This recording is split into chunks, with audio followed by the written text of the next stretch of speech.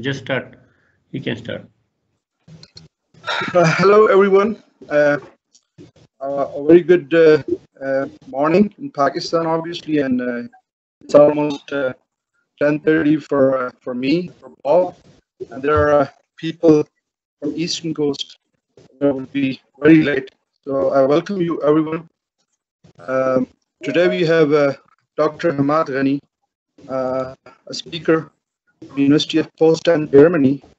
Uh, Humaad will be talking about linkage between uh, structural modeling and low temperature thermochronology to constrain structural evolution of Kohat potwar fold thrust belts. Uh, so there is uh, this uh, series uh, uh, has become very famous in a way that we are getting a lot of interest from around the world. there are a few speakers who have shown their interest from India and uh, Bob will be discussing with you when Bob has given slot from for them, uh, depending on their availability. But for those who would like to see the previous lectures, uh, we must have definitely shared the link through which they can access the previous lectures by Catherine Badgley, from Abdul Qayyum, from John Barry, from Professor Gary Johnson, and from Bob Reynolds. So I would now request Bob to take the program further. Over to you. Yes, thank you very much, Irfan, and and thank you everybody for for joining us. And uh, what what we we've uh, had a question. Somebody said, "Well, why is it called Siwaliks when it's talking about so many different topics?" And I think I want to emphasize that the Siwalik sediments in the foothills of the Himalayas allow sort of the creation of a natural laboratory in in Pakistan and in India to study the evolution of landscapes through time, to study the evolution of mountains through time, to study the evolution of basins through time. And so this seminar series takes the one rock unit, which is named after the hills and the foothills in, in the Siwalik Hills of, of, India, and it's putting it into a bigger context. And so what we're going to do uh, in the next few weeks, uh, I'm just going to give a list. We've got Doug Burbank coming up next week. We've got Mohammed Akbar Khan from uh, Lahore. Coming up after that, we've got Rajiv Patnaik, Punjab University in Delhi after that. And then we've got Peter Clift from LSU. So we've got uh, a, a, strong program coming up, and we're going to be consistently at 9:30 a.m. in in Pakistan on Wednesdays. And unfortunately, in the United States, we've had daylight savings time, which has made it even later for people on the East Coast. And and Catherine, we're delighted to have you, and Gary, we're delighted to have you, and we appreciate that you're up in the middle of the night to do this.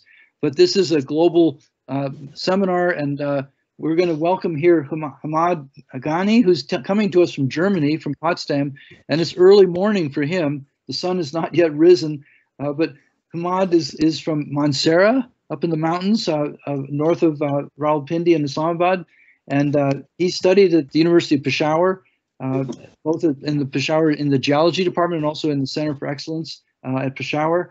And then he has migrated to uh, Potsdam uh, in Germany, where he's done his PhD research, and he's continuing with a, with postdoc research in Germany. And the talk tonight is going to encompass a variety of, of new techniques about looking at, at uh, the evolution of the structural geology of the Kohat area and, and the Potwar, and I'm just going to turn the talk over to Humaad. And thank you all for being here.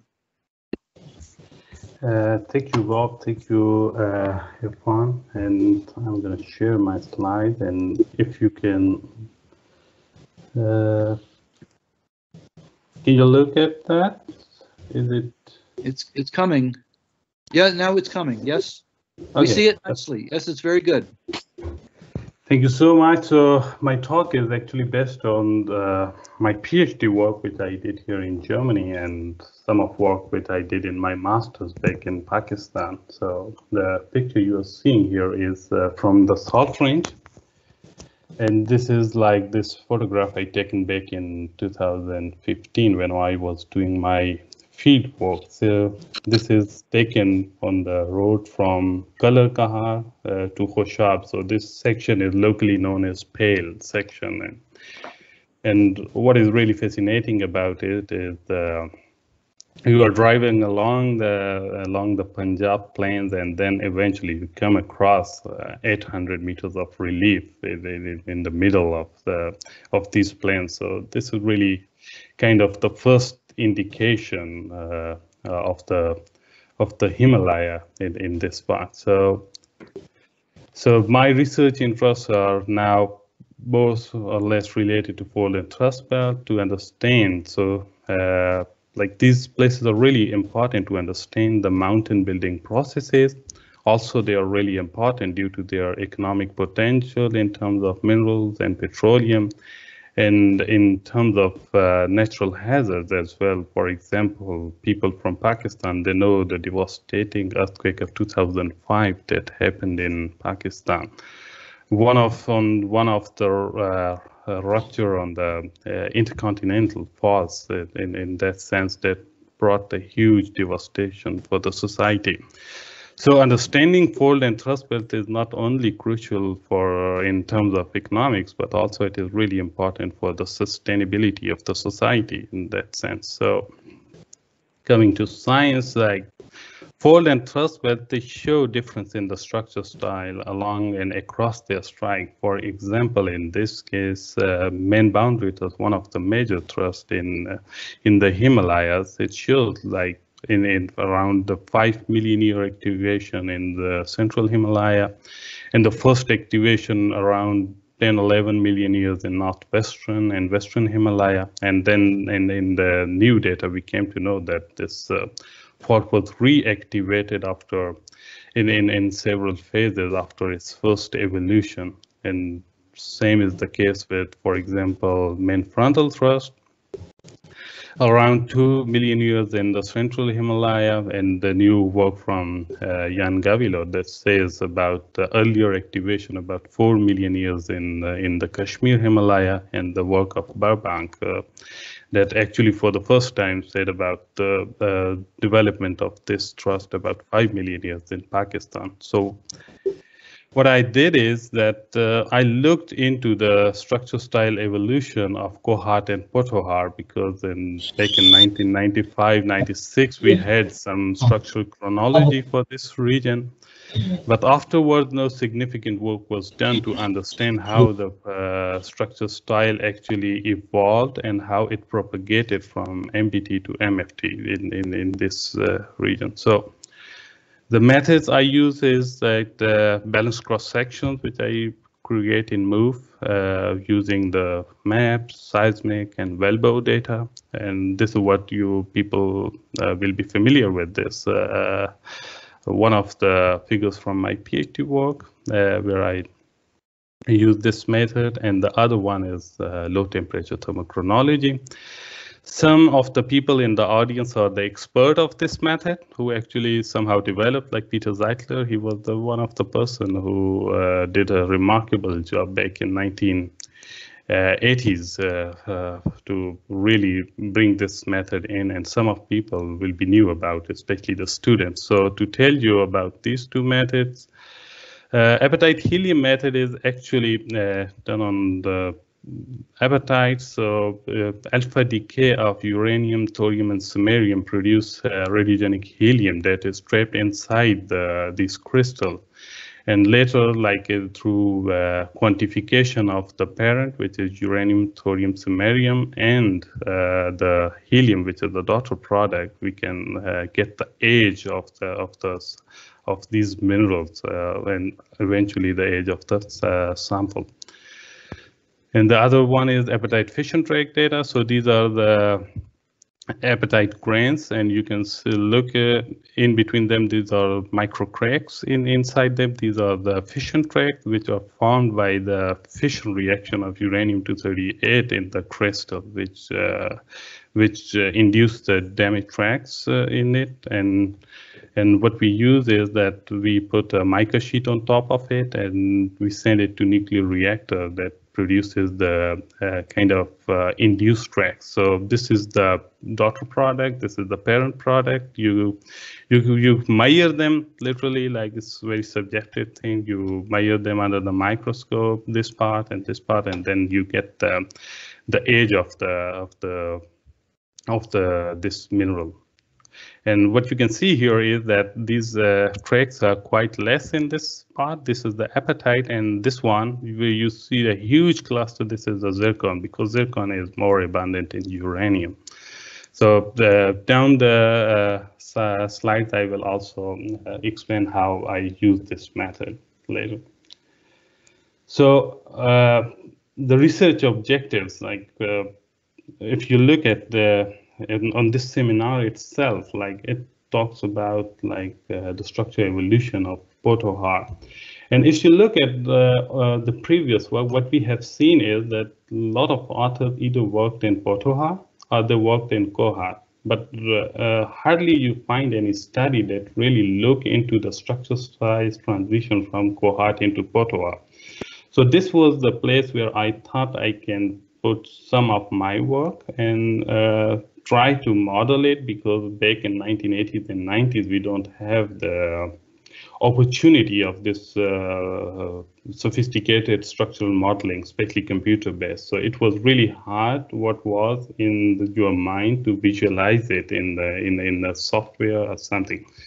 But in the last uh, decade, uh, through these programs like Move and the others uh, programs like Structure Solver, they have given us the opportunity to bring out things uh, out of um, our imagination into in somehow to, to visualization. So I looked into the structure style transition in the first part, and then I looked at uh, the development of the salt range.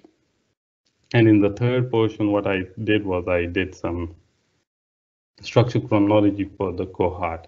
So I will explain each part one by one. So the first part is structure style of the Kohat and Potohar. This picture is taken from in the east of uh, Kohat uh, near the uh, village of Lachi. And what you see here are the are the hill ranges of Kohat that uh, eventually uh, grade down into the Potohar. So you can see a subtle uh, topography of Potohar in the in the in the in the uh, far far areas. Uh, looking at the surface geology, what you can see is that uh, in the Kohat there was kind of like closely spaced folds here. What you see is in the surface are the box folds, which are uh, most frequently cut by high angle thrust faults and separated by kind of uh, kind of uh, syncline of structures in, in this part. And when you go down uh, in, in, into the uh, you see a kind of really subtle stratigraphy, very gentle to to open folded structures in terms of anticlines and synclines. And then all of this uh, uh, topography is concentrated here in, in the salt range in, in this part. So this is mostly the western salt range here. This part is known as the Wundi lobe. Uh, that is kind of uh, lobe structure within the stress of the salt range thrust. So this is the Surghar range, part of Surghar range, and these are a couple of famous structures like Karabakh pod and the other ones. So looking at the stratigraphy itself, uh, what I found out that, uh, or, or, from the previous study, so to correlate the maps and also the wells, what you can find out is that uh, stratigraphy from north to south, this is tapering, and from also from west toward east, this is pinching out uh, in, in, in, in, in certain way. So obviously, like now lot of people who have worked in the Potohar, they know about uh, the salt range uh, formation, which is the oldest in this area, followed by the Paleozoic, Mesozoic section in the western salt range, and then it grades up into the Neogene foreland strata. Here you will see in my presentation, most of the time salt range thrust is uh, uh, represented by main frontal thrust, so this is the same thing. Although main frontal thrust is the term used in the central Himalaya, Himalayan frontal thrust in northwestern Himalaya and salt range thrust in the in in Pakistan. But here in in couple of slides you will see this. So, and in uh, what was important that in in the Potohar on a, like what we have is the décollement present in the at the base of the salt. And however, in the Kohat, we have another evaporite uh, horizons in the Eocene, so the, which somehow are exposed along the thrust faults, uh, in all the thrust. So this gives the impression that there is some sort of secondary décollement present in, in this area. So these are the these lines are the seismic lines which I used uh, to interpret the structure style. And this is one of the representative from north of Kohat. What you can see here is that uh, in, in, in the upper portion of this seismic line, like up to one or two uh, seconds, that whatever is coming up from the surface is somehow terminating in, in, in the upper parts, and you can see some sort of uh, repetition in, in, in the subsurface. And when you go further toward uh, south, you can see a harmony in the structural pattern from top uh, uh, to the bottom. So how I interpreted it is uh, certainly with some help from the surface geology that the upper décollement, there is an upper décollement from where these imbricates are emanating out. And between the upper and lower décollement, we have the duplication of Paleozoic, Mesozoic strata. And these are the cross sections which I, I made uh, uh, to to uh, to put them in in kind of um, uh, geology. So here is the same uh, thing like the upper décollement coming out uh, present exposing the structures from the Eocene and from the Neogene foreland, and the, there is a decoupling uh, in the upper part and the lower part. But when you go towards south in the Surghar, it's almost like the the the whole deformation is uh, is uh, controlled by the basal décollement.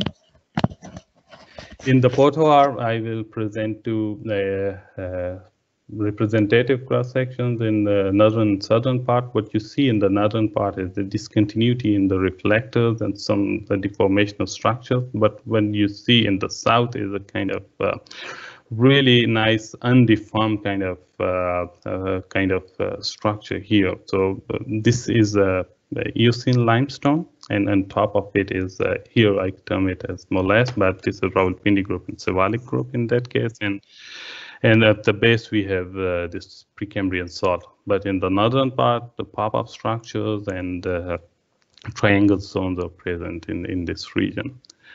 And in, in this cross section, what you can see is this is the northern part, and then we have really gentle folds, and then at the, at the end of it, we have this uh, beautiful uh, uh, fold, uh, bent fold in, in, in the salt range that is coming up on the salt range thrust. Then I put all these uh, cross sections in a 3D model to understand what's uh, how this structure style transition from uh, uh Kohat into the Potohar. What I found out that uh, the major structural uh, style variation is because of the two décollement versus one décollement in the Potohar. What you can see here is that these these thrust faults that are duplicated here, they are uh, fanning out in, into Potohar as a fault propagation fault and eventually in underlain by the tri triangle uh, uh, surfaces, uh, triangle zones. And in the transfer zone, what you can see here is that was interesting part uh, where I think, in my opinion, that uh, that the Kalabagh fault zone, the main strain is now acting as a normal fault. It's uh, not like uh, transpressional in the sense, but more like a transtensional, and it is more uh, more influenced by the movement of salt in the subsurface. What I think is that the salt is uh, migrating in the footwall of the of the normal faults, and also it is migrating toward the towards the south in the foreland, forming this bend in the whole structure. And when I uh, uh, retro deformed or when I restored the cross section, then interestingly, on the both ends in the in the Potohar and in the Kohat, I, I found same amount of shortening in in this uh, these models. So the structure style is different, but the magnitude of shortening is comparable in that sense. The second uh, part will be the development of the salt range, where I will be kind of uh, showing you some age data of these uh, uh samples. The picture in the background is this one is the Sakesar top, highest uh, part of the part of the salt range, and from here you can observe the stratigraphy from Precambrian salt all the way up to the up to the Eocene limestone in, in this, and eventually sent at some places some uh, Rawalpindi group uh, uh, is exposed.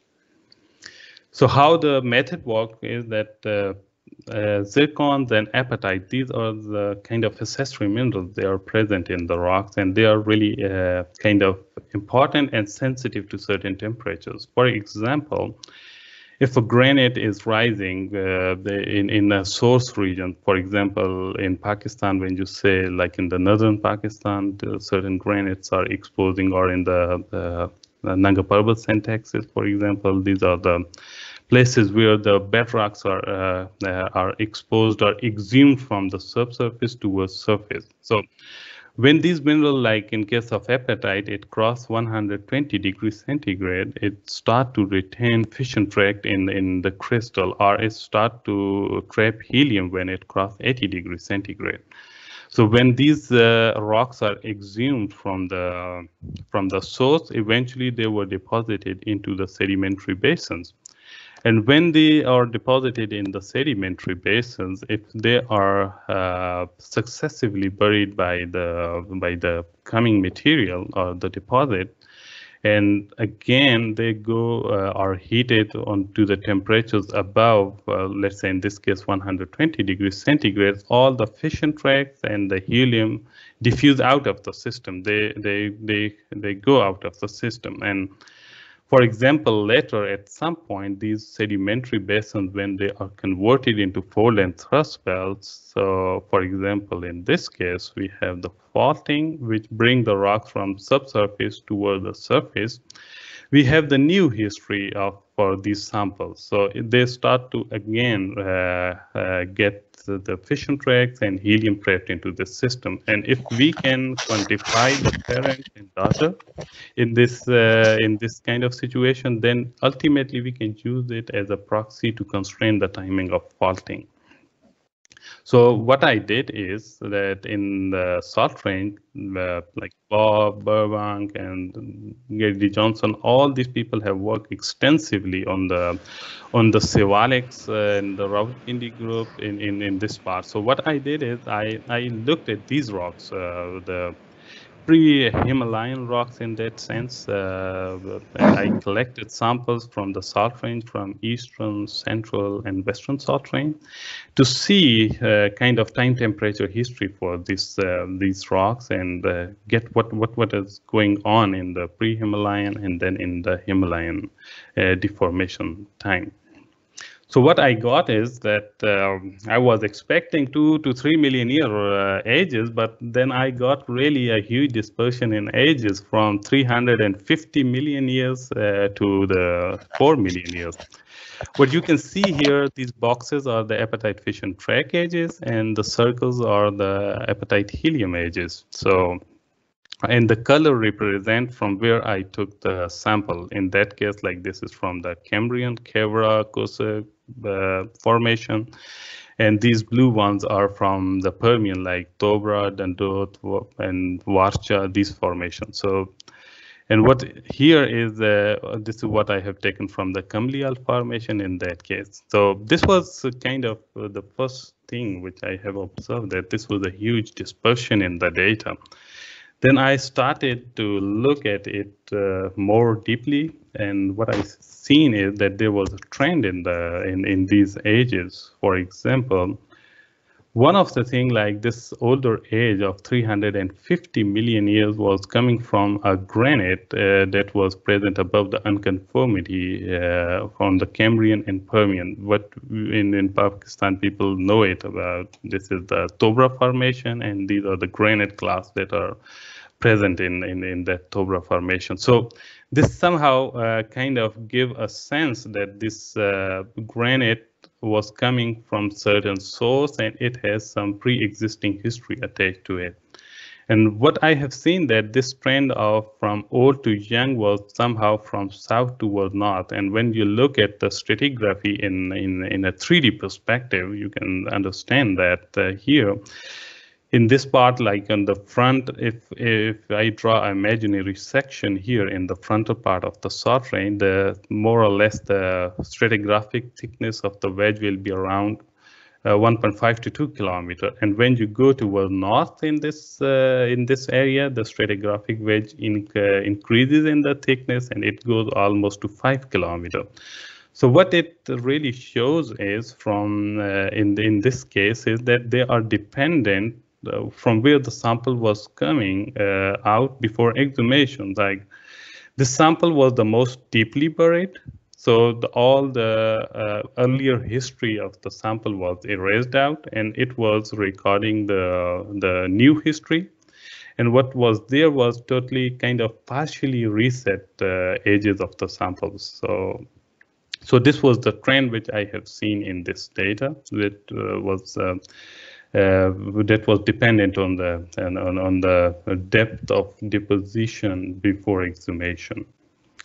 So then uh, obviously like we do the thermal modeling to understand the time temperature history of these samples. So classically what we do is that uh, we use the data from a single sample. Uh, for example, in this case, this uh, data is from the Khewra sandstone. So I use the apatite fission tracks and the apatite helium data from this sample.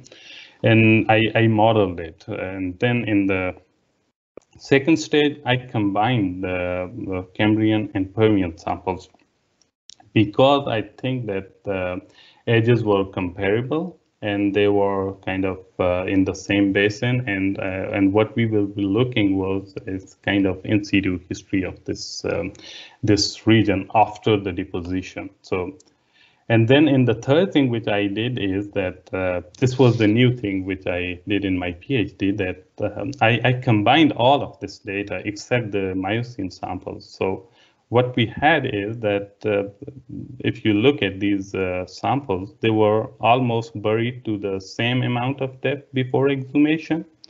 And the edges were somehow comparable and they were all uh, located along the thrust front. So on, on these basis, I, I combined all of these samples together to see if I can get one nice history for all these uh, uh, of these samples. So what I have here is the uh, modeling result of uh, combined thermal modeling of all these samples. What you see here is the temperature and here is the time. So what we do is that we put the samples in into the thermal model and we see the range of possibilities uh, over the period of time, how the samples have gone through uh, in terms of temperature. So these are the, the boxes here. These are the depositional constraints. For example, what you see here, these lines, they are representing the Cambrian samples. So after the deposition, these Cambrian samples uh, at, in, in, in the Cambrian time, they were uh, heated down to the temperatures of about 80, 90 degrees centigrade.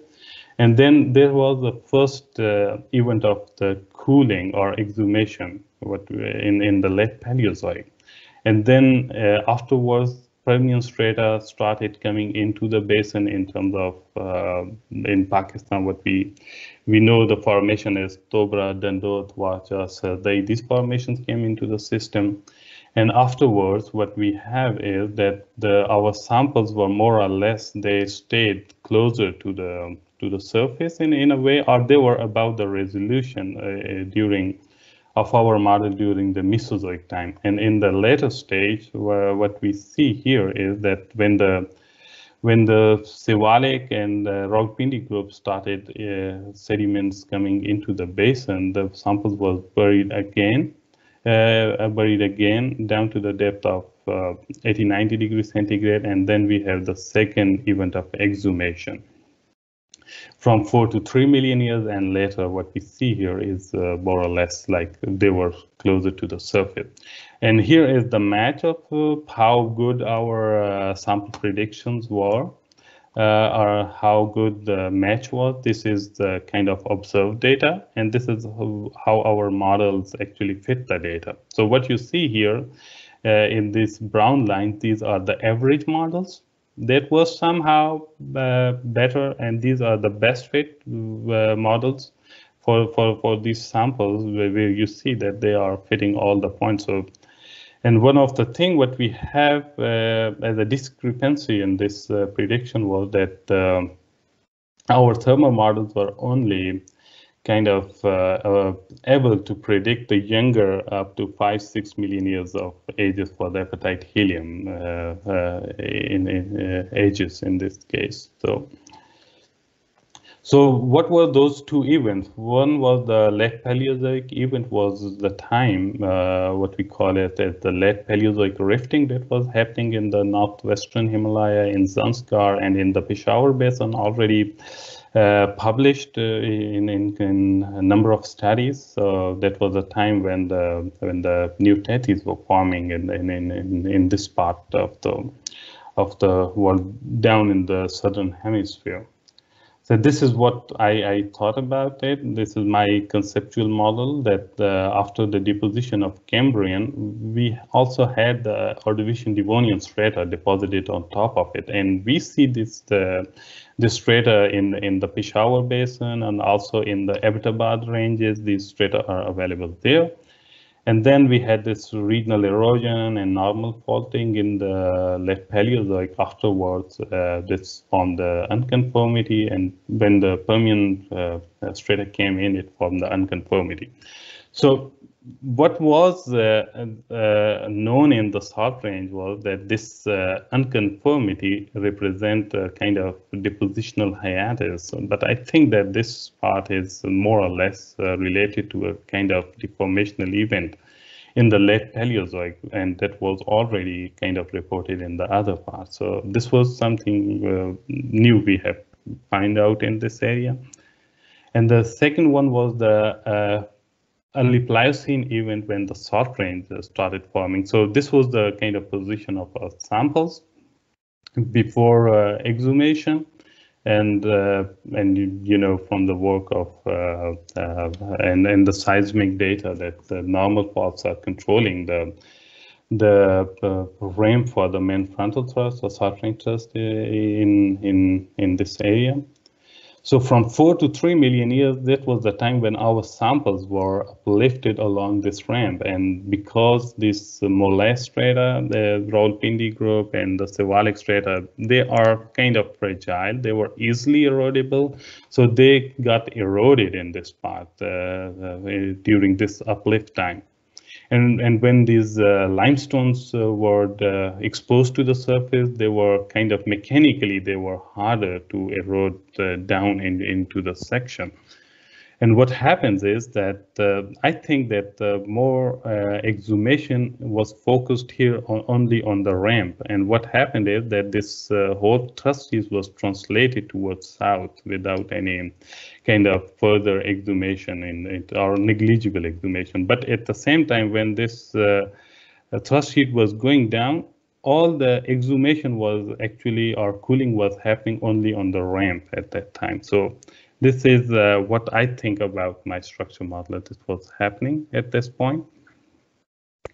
And in the third part, I will be talking about the structure evolution of the Kohat.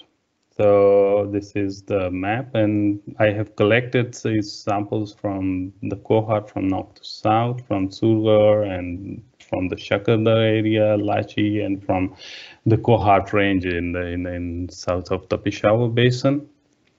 And these were the results from Meigs, uh, Andrew Meigs in 1995, which uh, were the kind of breakthrough for, in, in, in this region to, to put the chronology of main uh, boundary thrusts uh, around 11 million years in this um, area. So, and afterwards, like the structure chronology uh, need to be revised uh, in inside this region, for which we have no such data available. So this was kind of my research question to look at that. So what you see here is that the, these were the kind of edges. So these are the apatite fission track edges in blue color, and these green are the apatite helium edges. So, and interestingly, at the southernmost end of the Surghar range, I, I got really old ages, uh, even older than the main boundary thrust. And then in the in the in the fold and thrust belt itself in Kohat, I had the younger ages, and finally in the uh, in the Kohat range, classical Kohat range, you say the, the ages were more or less comparable what we have uh, seen from the NVMix data around in 1995. So, and these ages, for example, 19.2 million years, these are more or less from the Rawalpindi group. And these are uh, mostly the unreset ages. They are really close to the depositional ages. So what else you can see is that the Rawalpindi group is more or less uh, thick or exposed in the northern part of Kohat. And, and when you go towards south, you don't see any Rawalpindi group in the Surghar range almost. So this is more like Shivalik in this in this region. And one of the thing about Kohat was that more or less the structural chronology was adopted from the Potohar in this part. So somehow like it was hard to understand the structural propagation because no site data was coming out of this area. So so this was one of my cross section I constructed to understand first the structure style and to do the structural uh, propagation to understand the model in this part. So what you can see here is as the main boundary thrust coming out of the basal décollement and south of main boundary thrust, like we have this double décollement kind of uh, deformation. Whatever is at the surface is coming out of the Paleocene Eocene and whatever below is duplicated in, in this part. And, and interestingly, when we have this uh, change in facies of the evaporites in this part, we, we, we switch back to a single décollement uh, kind of deformation in the, in the Kohat. So then I restored back this cross section and and this was about 100 uh, kilometer of shortening that was accommodated by these structures in this uh, area. Then to understand, uh, like when you uh, uh, uh, restore these kind of structures, so you get the magnitude of the shortening, but you hardly understand what was the mechanism that formed these structures in, in, in the first place. So back in 1991 like the models were more or less uh, big uh, like big roof thrust models. But i think that in in the Kohat what was the mechanism was later which came out as the active roof thrust model that whatever was uh, happening in, in on the basal décollement was transferred toward foreland in the upper décollement. So what I did is I simplified my restored model and I connected the ramps uh, in, in, in, the surface below and the surface above to, to see what kind of structure geometries I can get and constrain the timing or the kind of amount of shortening on these kind of uh, structures.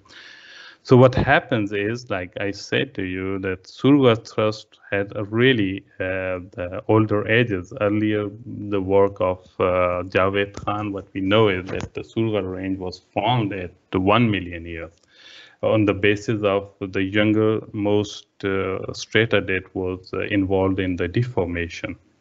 But I think like here, what we have is that uh, getting in the perspective from the older rock that the deformation was propagated on the in in the foreland on the on the, on the range front that it created the whole stratigraphic package into one wedge and that was accompanied by erosion of the Rawalpindi group. And that's why we don't see Rawalpindi group here. So this is what this is my assumption of uh, of this thing how this could have happened uh, in in this part. So and then from 12 to 8 9 million years was the development of the main boundary thrust is the major thrust in this uh, area and the deformation propagated into the foreland and then uh, what you see is that the deformation from the lower décollement is transferred into the upper décollement and we are taking the deformation propagation toward the foreland again. And then what you see is that the kind of tectonic thickening in, in the subsurface, what is happening is that uh, originally two, three kilometer tectonic section was now thickened to five, six kilometer. And that somehow uh, was uh, the reason why a lot of the Rawalpindi and Shivalik strata was expo was exhumed and it was uh, eroded from the surface above. So that is why what you see in the Potohar that a lot of uh, Rawalpindi and Shivalik groups are preserved in the subsurface. However, in the Kohat, you don't see this kind of uh, preservation of these rocks.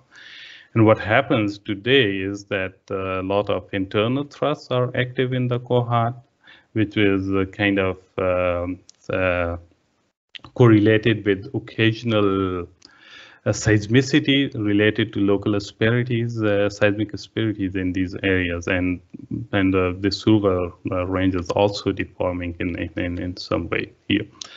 Uh, is also active and it's deforming uh, now along with these kind of structures here. So this somehow give a kind of impression that uh, this uh, this wedge is because of this exhumation of the material from above is uh, somehow building its taper to do to to take deformation toward the foreland. So this was a kind of comparison, although not uh, actually we couldn't kind of reproduce all the geometries, but somehow they were uh, closely resembling in, in terms of shortening or in, in terms of the structure style. So this was a kind of the check to validate the structure model uh, in, in this uh, region. So at the end, like what I find out uh, is in terms of shortening around 75 kilometer from MBT to Surghar thrust in, in this area and 65 kilometer of uh, deformation, which was actually from the uh, Baker's paper.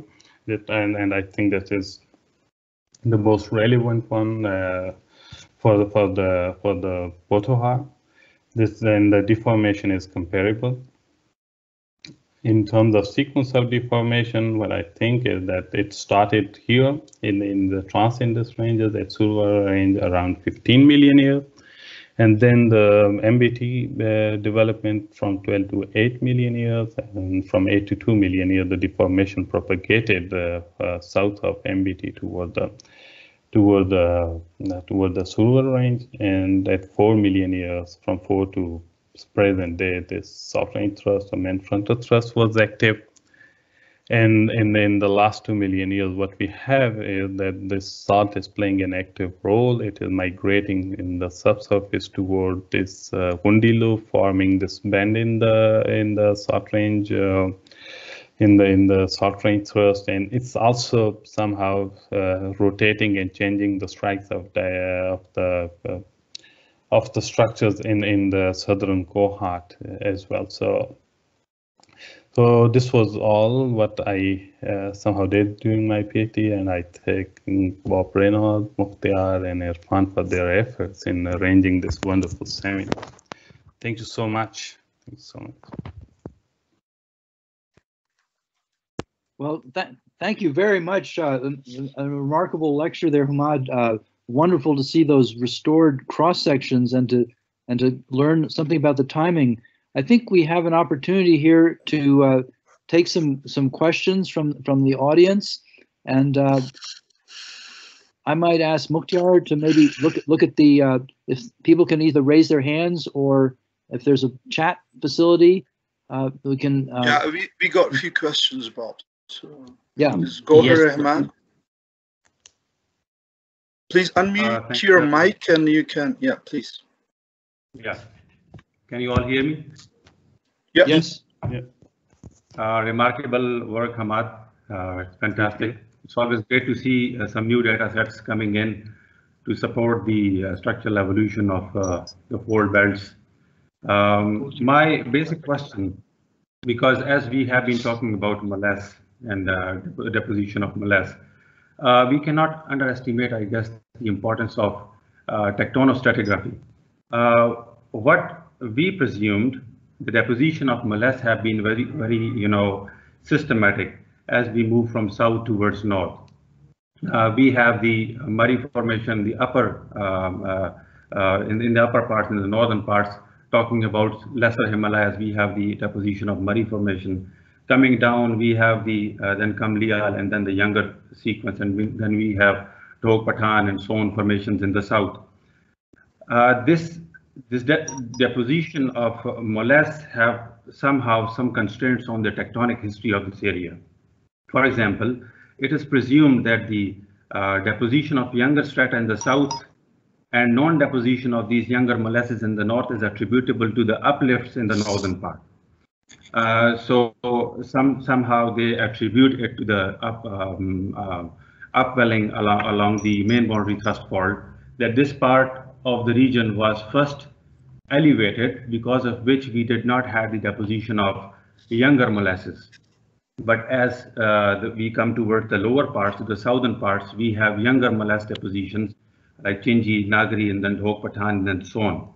So talking about Surghar being uplifted before the main boundary thrust fault was active, it is like we are having an uplift in the southern part and then followed by the uplift in the northern part. So how would we attribute this deposition of molasses to the uplifts in the region as your thermochronological uh, data is uh, supporting an uplift in the southern part, which the deposition of molasses is not supporting. So how would you uh, comment on that? I would like to hear. Thank you.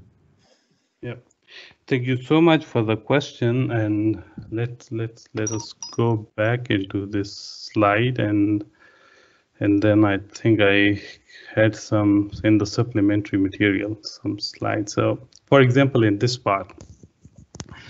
So when I have this data came out like and I have to look at the structure chronology of this region. So my data was not really fitting with the paleomagnetic constraints in this part. So, and then if you look at the data, what I did is that I uh, dated the sections all the way from Eastern Salt Range up to the Dara Adam Khel in, in, in, in, in the Kohat. So one option with me was like either this 13 million year is representing a kind of uh, unreset age or it is a kind of reset age. So so when looking and comparing it with the uh, molasse you see that once one of one possibility was that all of this was older and this actually heated my samples and then they came out at 15 to 12 million years okay but right now, the situation was like what other possibilities could be a, some sort of basement drop, which had a kind of more thickening of the Rawalpindi in this section that was eventually later exploited in the early uplift of the Surghar range. So when we uh, look in this data further, what we see is that you see that the Kamlial formation was deposited in the salt range and Kamlial formation was deposited uh, or the equivalent was deposited in the west of the Bannu basin. The question here is what is happening into the basin at that time, why this uh, formation or Rawalpindi group was not available in, in the Surghar range. So this was a big question to ask, for example, in this part, you see. So we have Kamlial down here and we have Kamlial in the west of the Bannu. Why not in this part? When I looked at the uh, older papers, what I found out that there was some sort of uh, basement uplift in this part that has somehow prevented deposition of Rawalpindi group in this area. But the problem when you put them into the structural settings, that is uh, really hard to imagine, like how you are going to put the structural ge geometries in this part, because the seismic shows that a thick amount of Siwalik is present, like here.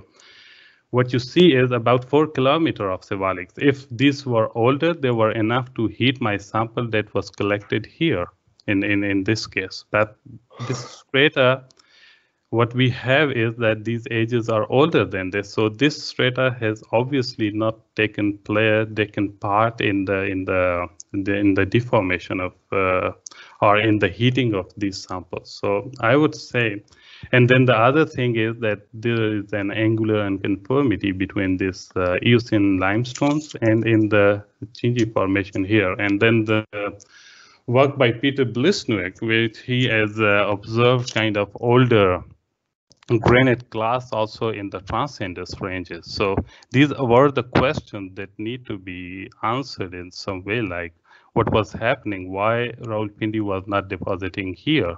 If this was not structural control, then what was that? Why this didn't came out and fill the basin? There must be some uh, sort of uh, explanation to that. So in in earlier what we had was data from this part, uh, from the paleomag. We don't have any data from this part. So what we had is the first data coming out that somehow shows the kind of an earlier uplift in this part that to some extent answer the angular conformity and then this metakatic formation that was in present in the southern part of the Surghar range and these granite class present in the Trans-Indus ranges below the Siwalik sections. Obviously, is this the only answer? I would say no, this is not the only answer because I have on, I have collected three samples here. I dated them. Only one of them gave me the apatites. Then I did another excursion. I brought the samples and the ages were the same. So now in, in the future work, maybe people who take the samples from this section, they can either further enforce this idea or they can uh, look for other explanations. Like, and then we have to answer these kind of questions. What was happening here? and why we were not uh, having the Rawalpindi in this part. As far as the Siwaliks is concerned, yes, from north to south, we have this time transgressive Siwalik deposition happening in this region. So there's no uh, kind of problem with that. For example, if you look in the, in the uh, syntaxis area, like main boundary thrust is coming, uh, uh, is present in north of it. So the most of the strata can be coming from that part. And then also the strata was coming uh, out of the main boundary thrust at that part. So it gives more more uh, logical explanation when you talk about the deposition. If let's say we say that uh, the main boundary thrust was formed at that point, it would more block the passageway for the for the rivers to spread or deposit their load into the foreland basin. So, and and and in in, in this way, it somehow is more convenient with the paleo flow directions and and, and the structure growth chronology in this part. Yeah. Thank you. Okay, uh, so I have another uh, um, question. Uh, I'm just uh, picking people based on what I have seen here in the sequence. So Amjad Wahid Saab uh, from Maari Petroleum Company Limited. Uh, can you unmute your mic and ask your question? thank you, thank you, Sean. Ahmad, it's a beautiful presentation very well done, excellent work done. Uh, uh, I am working these days on Super Range. Uh, we are operating there and we have drilled three wells and all those three wells are producing wells. Um, in 88, 89, I published a paper uh, on the Murree Formation. It was uh, near Shakardara town uh, and Dhok is on the Kohat Shakardara road where the Murree Formation is 120 meter thick I, uh, it was my question to Bob in last uh, presentation as well. At the surface, this Murree Formation was 120 meters thick, but when we drill these wells, the Murree Formation is more than 2,000 meters thick. And today you touched that subject, that these molasses, these Rawalpindi groups may be thicker than the subsurface. Can you elaborate in detail what's the reason that at surface we did not find that formation take as much we find it in the subsurface. Thank you. Over. So, uh, unfortunately, I couldn't hear the question really well. Uh, can you uh, can you explain it a uh, little bit more, or uh, like can you repeat it because there was why, some why it happens the, the difference be between the thickness in the subsurface and on the surface. That's probably the bottom point. Yeah, yeah, Ahmad, yeah. this is what I, I'm going to say that the Murree Formation in the same region, in the same area, is around 120 to 130 meter thick at the surface. But when we drill the wells, the Murree Formation is more than 2000 meter thick. Mm. So, any explanation for this uh, formation? More thicker and, and, and And and by wells you mean the wells in the uh, in the Shakardara area in Chanda, or you are asking about the wells further south in in Halini and these uh, these wells? Yes, Which, yes, which wells? very right. Yes, Halini, Halini Deep and Kalabagh wells. Yeah. Okay. Then then this is a, a nice one. Let's let uh, can you uh, we can go back to this. Uh, so can you see my presentation here? Yes, yes. Yeah, uh, Humaad, you're Yes, seeing can see. Chaman transform zone and Hazara transform zone. Yeah, okay, so let me go back to this one. Can you see that one now? It takes a while, it will definitely come. Yeah. Okay, Uh, so uh, when you look at the Halini well that is present here, and, and, and when, when you look at the strata here, this is all Nagri formation. Yeah, that is coming down and going in into the subsurface in this part. So what in the Halini is one of the deepest well in the in, in Pakistan that goes up to uh, six kilometers. So uh, basically, what you are drilling here is all the way down all the strata that is exposed here. That is about four kilometers. So this four kilometer is actually the Nagri and the and the Chinji formation that will come out in the subsurface. And and uh, talking about uh, Rawalpindi in this case, for example, Rawalpindi is uh, what you see here in this truss section. Rawalpindi is thick only in the northern part, about four, five, uh, three, four kilometers here. But eventually, when you go and uh, you follow along this uh, Hookney thrust or Karak thrust, locally known as, you see that uh, it goes to only two, 200 meters, 150 meters, and eventually you don't see it in the Surghar range.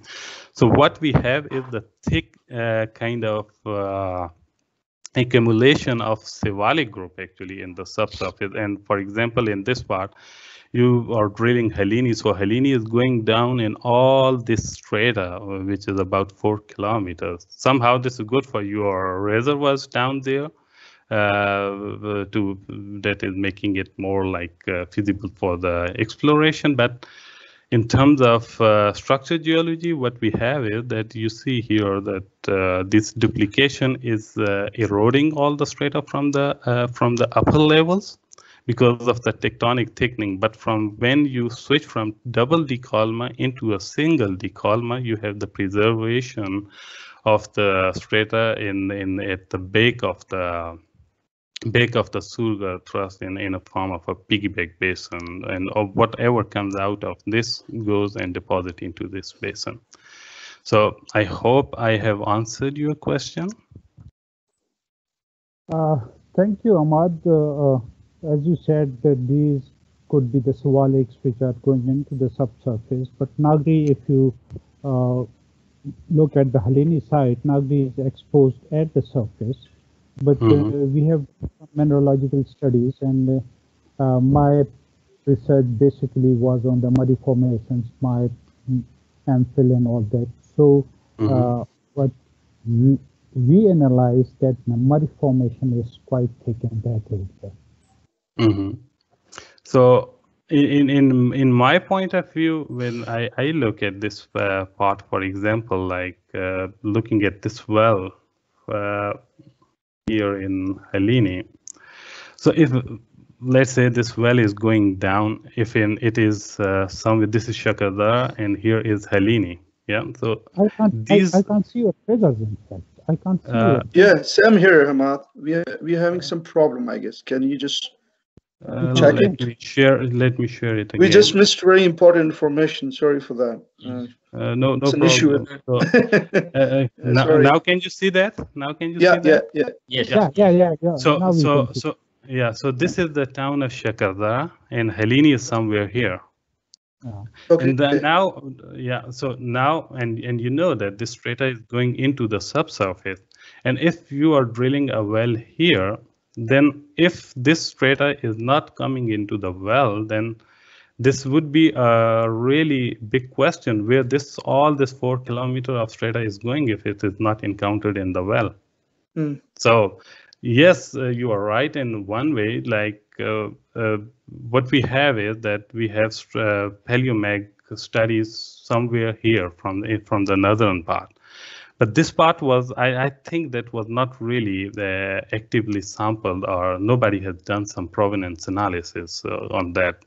So maybe if you have some geochronology data on that or some zircon fission track data on that, that would be really interesting to see and correlate or put them into the chronostratigraphic order where we are. Because uh, otherwise, if this strata is not in the well, then this is a big question where this strata is going. So in in my opinion, uh, what I understood of that is that uh, you are drilling here, Halini, and it goes all the way to six kilometers. And you are drilling, for example, Maari Petroleum has drilled Kalabagh here, and it goes uh, to 3,500 meters. So this is amount of three kilometers or two kilometers that were additionally drilled in the Halini in this part. So this is what I think about it. So maybe like if uh, there is more some data on that, or obviously I'm not the expert of the mineralogy of this uh, this thing, but uh, it would be really interesting to see how how this thing goes. In in my uh, opinion, uh, Rawalpindi group is more or less finished somewhere south of Shakardara, and all what we have is the thick accumulation of uh, of uh, here. Yeah. Uh, th thank you, Ahmad. The purpose, uh, the purpose to put this question was, since the oil companies work, they have their data which is restricted and not in the public domain. I just wanted to bring this thing into the knowledge of geoscientists that what's happening in the subsurface and correlating this subsurface with the surface, they can come up with some sort of a uh, model. And that's important. We should work in the future. Thank you. Yeah. yeah. So, so, adding upon that, for example, like uh, this was one of the reason. Like um, uh, if you uh, look at my 2018 paper, and I think you have the license for the move. This whole model is available in the public domain.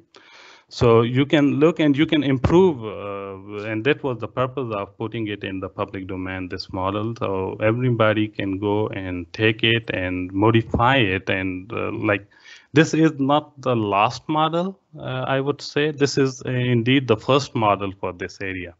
So uh, obviously, like when I was looking at the strata uh, data here, I got the lines of, of I think OGDC from 1996 or something.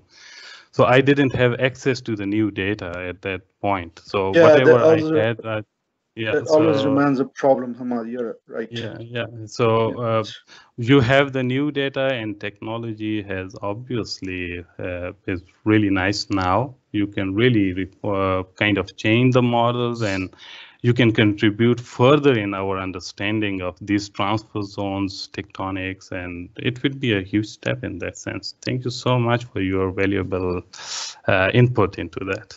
Yeah yeah Madhvan, okay. you are in you, whenever yes, you sir. are in and do come to me. Uh, we, I can show you the seismic data, the subsurface data, and uh, we can maybe we can work together to come up uh, with a new model on it. Thank you. Thank you so much. Thank you so much. Uh, okay, so uh, we have another question. Uh, yes. our colleague from National Center of Excellence in Geology, Dr. Shafaisal Khatak. I would just like to from the speakers, it would be very nice to introduce themselves briefly so that we know that uh, who we are listening to, who is actually asking the question. Thank you. Okay, um, thank you, um, Irfan, for giving me the opportunity to ask a question. So as Irfan said that uh, I'm Shah Faisal, working as assistant professor at National Center of Excellence in Geology, University of Peshawar. Ahmad, uh, it's a very good work, and definitely I've been following your work uh, since uh, 2018, and I've uh, I think this this is kind of a new work that you are adding to that area. And but my question, it's not a question, kind of um, I also to further because my concern is how that you know that uh, from the uh, foreland area, how these things actually switch back, the deformation switch back to the uh, to the hinterland area or towards the northern area or towards more towards the MBT zone. So that's what it, what would be the cause. I when I was modeling actually uh, the salt range area, like uh, the paper you might you have cited also that one, the instru- which published in structure geology. So in those models, I also found that in presence of the ramps, usually deformation switches to the foreland area towards the uh, you know ramp area, and then actually the deformation again, you know, kind of uh, uh, get back to the northern part of the, my models. So it, it, I observe those uh, kind of phenomenon in my model as well. But I'm curious, what is the reason? Is it that salt basically it expel out and then things stick, uh, you know, you don't have any weak horizons and that's why the deformation switch back. One question is that, that what is the reason that switching back and forth of the deformation? And the other thing is, I think in your models, when I see it in the like uh, most uh, you you the the Murree formation are missing to the north of MBT, and I believe you have sampled from uh, just to the to the west of um, Fata University. You have also sampled from that area from the Murrees. Yeah. But it's missing in your cross section. That's my. I don't understand why it is like that. and also, is is it is it not the case? Might be in the in the Surghar range, uh, actually in the um, southern Kohat area, that your Murree formation would be in, you know, it would be in the subsurface? Uh, so, uh, so this was the cross section. So this is all Murree. So, and this was one of the reason, like I put it uh, down in that way. Can you see the cross section here? Yeah, I can see that. Yeah, yeah, yeah. Yeah. so this is all Murree, which uh, from where I Okay. I can see that. Okay, sorry, So. Yeah. So, so, it, so it's there, and uh, one of the reason why I have to put a lot of Murree in the.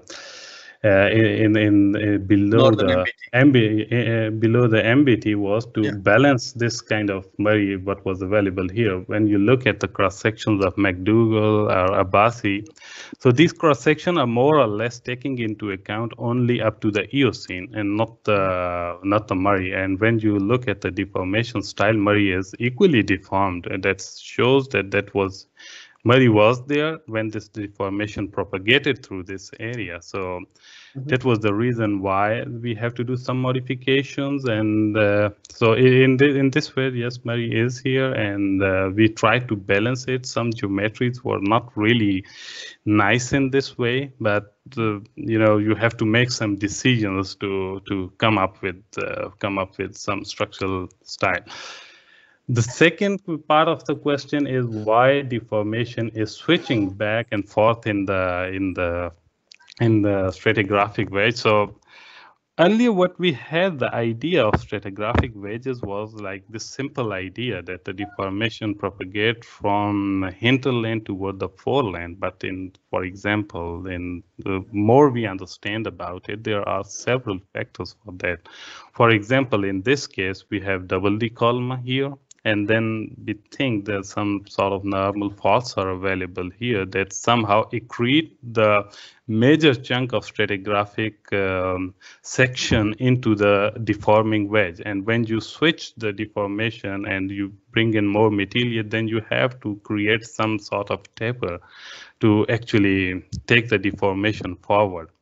What I other thing I have seen in Pakistan in in that sense is that uh, in that case, like how far you are from the from the uh, from the edge of the uh, edge of the Cratonic India in that case, like what we have seen in uh, let's say in central Himalaya, the restored sections show around 700 kilometer of shortening.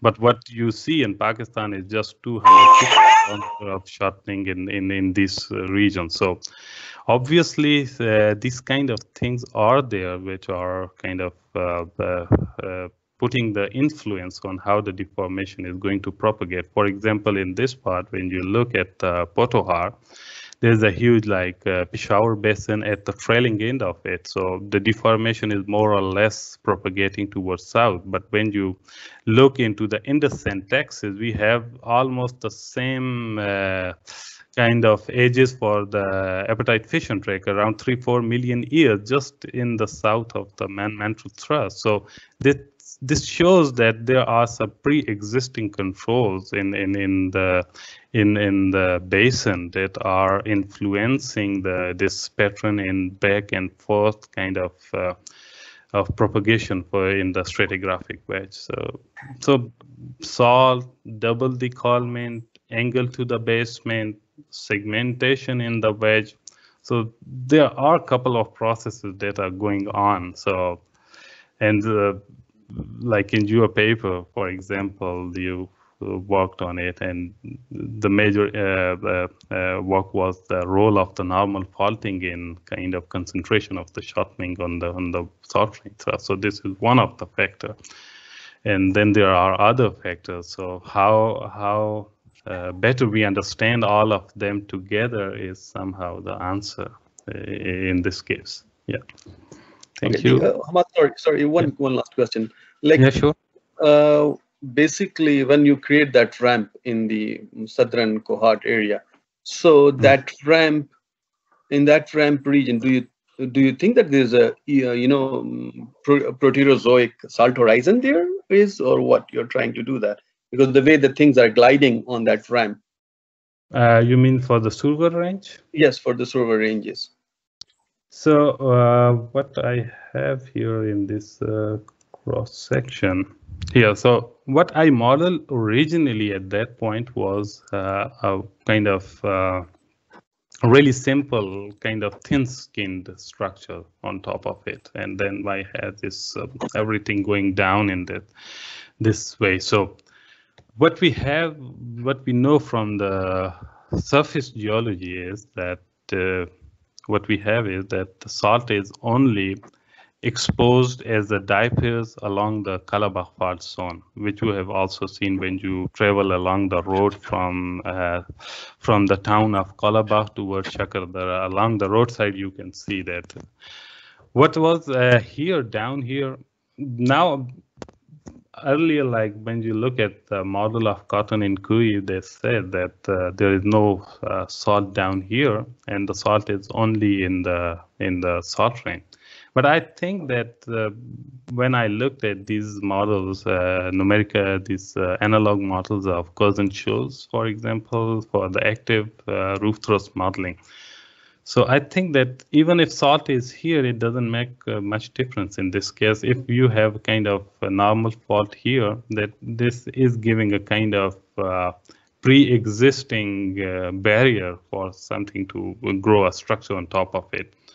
And in all these uh, uh, forward models, what you see is that more or less the the deformation is concentrated only on this part spatially.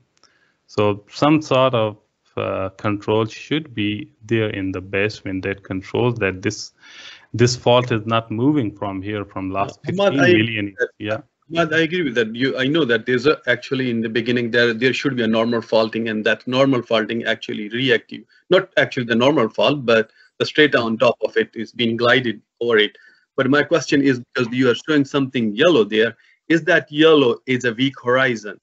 Is it something? I think is it what? I, I don't This know. one? This one? is, is it the Eocambrian salt horizon or something else?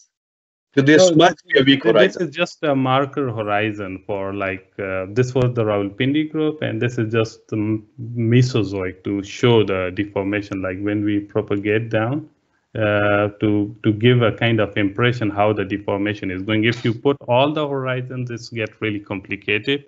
No, no. What to my question is, is it it is very difficult because these uh, Mesozoic rocks are all you know uh, platform sequences, and I don't think so. They could provide uh, you know a weak, a weak decollement in order to glide the things easily toward the foreland. Anyway, Yeah. So want to take a lot the of time. decol- Yeah, sorry. Uh, No, no, no problem. So the colma is not in the Mesozoic, so it is coming down on the, the base of the Paleozoic actually.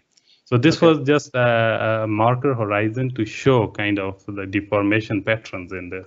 So the décollement is not below the Mesozoic; it is uh, above the basement on the crystalline sedimentary interface. It was salt there.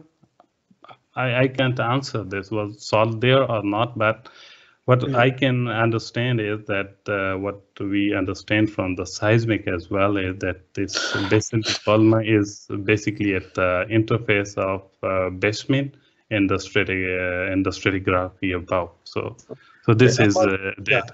Yeah. I agree with that. That- my question because why I did ask these questions because when I did my modeling, so I saw those all those kind of things. If you have you have a strong unit, it does the things doesn't move. If you introduce the salt horizon, things move. Even in Yeah. the presence of the ramp, this uh, you know the component your rock units are not supposed to be moving unless and until you have a weak horizon there. Anyway, thank you so Yeah. nice of you for the nice presentation and nice work. Thank you very much. So we have a friend from Japan, uh, Hafiz Rahman. Can you please go on uh, with your question? Yes.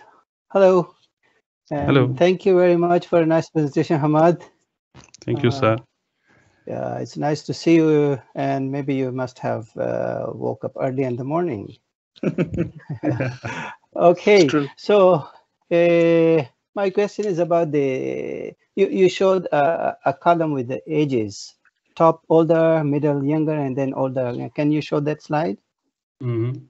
Mm, I think this one. This one.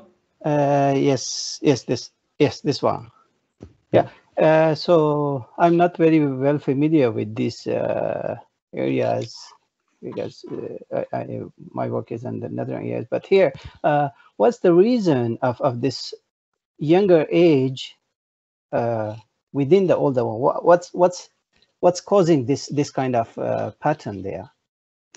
So, so this is uh, something like related with what we have in the when the deformation propagates. So the rocks are here; they are undisturbed in this part. So no exhumation, no cooling, no new data coming out. So when the deformation propagates, so obviously these rocks are uplifted from the base and they are coming up, and the strata above is eroding on top of it. So these uh, rocks are now getting new fission tracks, for example, in this case, and helium is trapped into the system.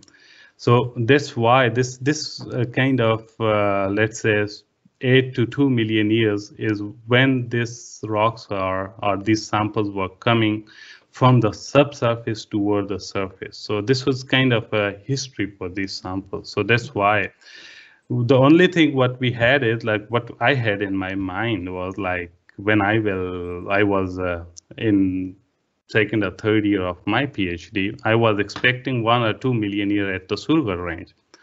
And when the 13 million year came out, that was really a nightmare for me. And you can understand a PhD student who has some sort of idea in his mind and something else comes out that is really uh, kind of freak him out. So then I, uh, what I did is I asked one of my colleagues from University of Peshawar, Mohammed Sajid, to go and bring some more samples. So I brought more samples and I did the analysis and I did analysis again for the apatite fission track uh, ages and the ages were again the same. And now I had the choice to see like, uh, should this ages, uh, these ages are like, they have the reproducibility and that, that was coming out. But the only problem was they were not fitting well with the paleomagnetic strata uh, or the paleomagnetic chronology.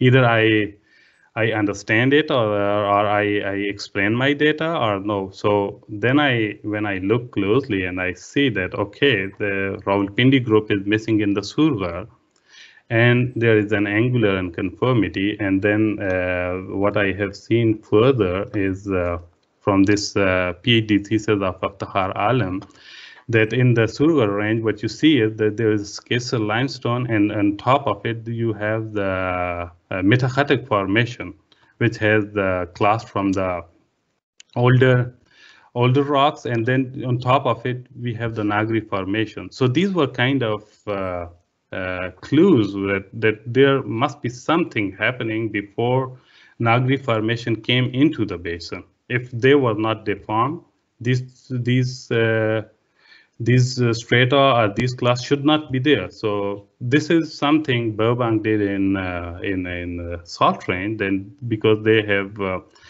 uh, so they have collected Tobra granites from from the younger strata in in in in, above the unconformity that shows that the salt range was uplifted around 5 million years. So this was something like uh, in, in this uh, in this uh, chronology I came out with that there is a possibility that we had an earlier uplift in that. So I, I understand like this is not an easy thing to understand like uh, in in the out in the foreland 13 million years so this was one of the question my phd uh, reviewer peter van beek asked me in my uh, phd and i asked him if this was 2 million years my phd would have uh, completed six months earlier actually so yeah, this is how it is okay. thank you very much okay thank you um, Bob, can we take more questions or, uh, you know? Bob? Okay, go ahead. Can you go on, please, with your question? Uh, yeah, thank you so much for uh, giving me a chance once again. Humaad, fabulous job, but you know, this uh, thermochronology and indirect data sets are always uh, questionable, and these techniques are continuously evolving as we are moving in time. Uh, my direct observations in the field work that I've been working in this area from quite a time now, the age of MBT uh, could be quite older just because uh, the deposition of Eocene, I'll take you to further older rock units. The Eocene basin, Kohat Basin is a well-established Eocene basin, uh, which has almost 1500 meters thick Eocene sequence. But as you move to the north of the MBT, the Eocene is either missing, either you have the deposition of Murree Formation, Miocene rocks right on top of Tala Formation, or they are very thin to the level of 3 meters and 4 meters. What we presume is that the uplift on the MBT has also controlled the deposition of Eocene in this region. That could be dated back to 45 million years. Now, uh, you know, uh, bringing this uplift to as young as 12 million years is highly questionable. How would you justify the deposition of Eocene along the MBT? You are in the Kohat Basin and then you cross the MBT and you enter into the uh, Tira or Oxy range and all of a sudden Eocene is missing. Now this MBT has some controls on the deposition of even the Eocene strata, not the, let's not talk about the molasse so how could we uh, flatten it down at that time when the Eocene was being deposited and then uplifted later on without it controlling the tectonostratigraphy? I am afraid I had this question. So, uh, uh, so uh, what we have is that yes, you have the observations about that. What the data we need is like from some method that show ages, for example looking at this uh, map of uh, DiPietro, for example, Ali Turab has worked in this area and he produced uh, ages from uranium lead on apatites. And he also brought out ages for the apatite fission track and some zircon helium and these ages. So what he had is that 27 million years for the MCT, and then around 10 million years for the MBT. And 10 million years is the kind of age that was uh, frequently quoted in all the literature along the Himalaya, not only in Pakistan. This is a major thrust going for 2000 kilometers. Uh, yeah. So all these studies are bringing out continuously reproducing the same ages like 10 to 12 million years. Like then for example, if we are asking about MBT at 45 million years, then what we need to do is that we this should be the collision zone in that case, because uh, other than that, we don't have any age constraints for that. What you are basically asking is something related to the tectonostratigraphy. How was the basin uh, stratigraphy at that point. For example, I have shown here in this part in the late Paleozoic that uh, we had the normal faulting in the late Paleozoic time, which is exerting the control on the accumulation of the incoming sediments in the pre-Himalayan era. And when you see closely on the Eocene, what you see is that the Eocene is more or less concentrated in this line in in this part, for example. Yeah. So this is where you have in in the Galiat region, you have the Eocene uh, strata. You have Eocene almost here in the eastern salt range, and all the way it goes down into the Suleiman and Kirthar. Yeah, but you don't find any Eocene in this part in the in the syntaxis region. So this has something to do with the pre-existing geometry of the basin. So if you think, for example, that the MBT was active at uh, somehow 45 million years, that will be something really new for me to know. And if uh, some data is there to support that, that would be really interesting to look at, actually.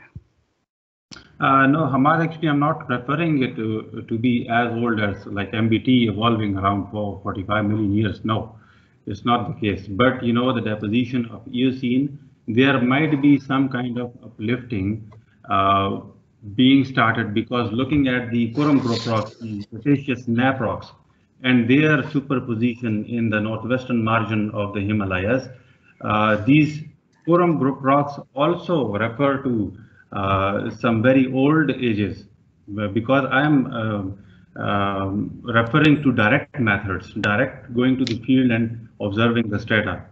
So if you so, even uh, look at the emplacement of the so, Coram group rocks. So they, how you know about the ages of those rocks? How you know about those are, those are Eocene? How you know about them? Those, those are established for the ages of the rocks. For example, oh, the, the, uh, according to some math, biostratigraphy or through some chronology, yeah, actually. It has been reported by the, uh, uh, you know, biostratigraphy and sequence stratigraphy, and all these techniques have evolved. That these are Eocene and uh, Miocene or whatever the age of the rocks are. But referring to things, uh, associating them with the faulting and the deformation process, there are still uh, questions about these uh, uh, ages and the deposition of the strata controlled by the tectonic evolution of this part is still a question and needs to be addressed. Um, so uh, let's hope, yeah, this is how uh, science evolves. This is how data sets come in and counter arguments come in, and this is how the uh, overall understanding of the region evolves. It's a great, remarkable work you. Yeah, so Bob Yeats said this thing in in Attock ranges where you, he talks about this part where we had this Eocene on top of the Precambrian rocks as well. So definitely if there is a basin, something is filling the basin and how we interpret it is uh, something like that comes out the, the basin geometry is exerting the control what is coming into the basin and how it is distributed into the basin. Obviously that is the case. Bravo bravo. Good work. Thank, thank you, you. Uh, do we have another question? Yeah faisal? Yeah sorry um, i think yeah uh, gohar uh, rahman sab asked you know that um, but the thing is that that is that is uh, that is I think it should be established that um, MBT is post uh, Miocene age. I would say. And the other thing is that uh, referring to why there is a Eocene missing and all those kind of things. So this because I've been working in Cherat ranges. Some of my MSTs uh, guys are working in those areas. So what we I personally think that it's not a one sequence event happening in these areas. There are multiple episodes happening. And also when you look into these cooling ages, some like there's there chances that how quickly the rock's been brought to the surface. So that's also those things are also important to be you know to, to keep in uh, mind you know. Sometime if you bring something very quickly so it means it has less it, it will definitely going going to give you young ages i would say. And those which are being gradually move up that's going to give you you know older ages. Ahmad, am i right like that yeah, so Peter Zeitler has one age from yeah. this uh, in his 1985 uh, data set from the Attock Cherat ranges, and it was about 27 million years. So it was yeah. more or less uh, uh, kind of similar to what we have for the MCT in this sense. So yeah, so those these, those things are like you have to also consider those things as well. So there are multiple stages events happening, and also how like one structure might be exhumating very quickly compared to others. So those variation in ages you can expect. in that area. But yeah, this, this is controversy that how you are getting older ages in that again in the Yeah. south and why it is getting younger toward the north when you you know coming back. So this is like uh, Yeah. when we talk about segmentation of the tectonic wedge. For example, like in the, in the in this and Texas, we have three to four million years ages. So know, this is yeah. the most northern part. So what is happening, and you have a lot of concentration of earthquakes in this region. So that the Yes. deformation has switched back here, Yeah. and obviously some pre-existing controls are there on this. So. I think it's the, how quickly you are bringing things to the surface. That's that's important. Yeah. Okay, so um, I think it's time to conclude. Uh, Bob um, just mentioned that uh, there is some problem with the weather. Uh, that's probably because of uh, what he is unable to attend continuously. He would be there continually. So um, thank you, Humaad. Thank you for uh, your wonderful talk. Thank you so much. Uh, it was really interesting.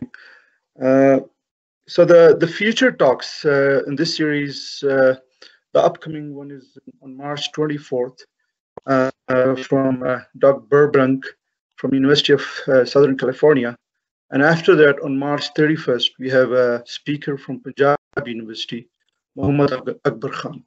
Um,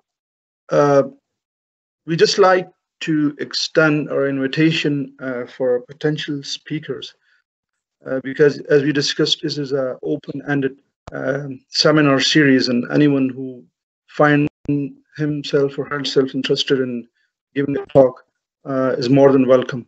So i would uh, now say goodbye to everyone. Uh, Uh, thanks for Irfan, I think you can Sure. you can sorry, Irfan, you can you know mm, uh, I will try my best to you know share uh, my work on Potwar Plateau as well, Okay. the centrifuge modeling. But let's see right. when when I gonna give you. I will. yeah yeah you can you can let us know so we will uh, put you uh, in a slot obviously Yeah, basically, Uh, yeah. Let me see when I'm because I'm going back Okay. to probably Pakistan. I don't know how it's gonna happen. uh, depends on you obviously we have few speakers in line already yeah, keep um, in Bob mind. has already let al- me know. Yeah, Yes. Bob has already, you know, uh, dedicated uh, days for that. So if you just let us know in email, and uh, we will definitely be very much happy to, to, to have you in uh, as a speaker. So thank you, everyone. Um, thank you for uh, joining us. It's becoming a wonderful series. Um, I'll see you again on uh, coming Wednesday. Good night. Yep. Thank you very everyone much. from from this part of the world. Thank you. Bye. Thank you. Bye. Thank you all very, very much. Hey, Bob, Thank, there thank you you very much, uh, Mukhtar, for Thank Join, you. I I'm here. Thank- yeah.